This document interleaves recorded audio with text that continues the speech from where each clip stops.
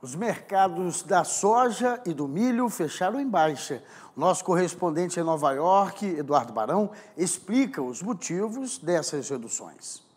Olá, amigos e amigas do AgroMais. O mercado futuro da soja fechou a terça-feira em baixa na Bolsa de Chicago, com os principais contratos caindo entre 7 e 15,2 pontos.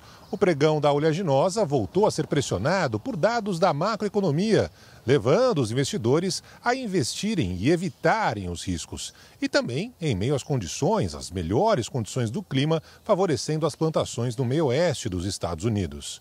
Já o mercado do milho também fechou em baixa nessa terça em Chicago, com os principais contratos caindo entre 1,5 e 5,5 pontos. Além das boas condições do clima para a plantação no solo americano, o mercado do milho acabou caindo após a divulgação de dados estimando uma safra recorde de milho no Brasil. Enquanto isso, aqui em Nova York, o mercado futuro do café arábica fechou a terça-feira em alta.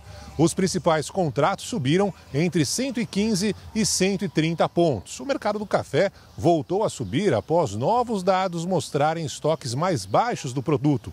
Ainda assim, analistas preveem que a semana deve ser novamente de volatilidade. De Nova York, Eduardo Barão para o AgroMais.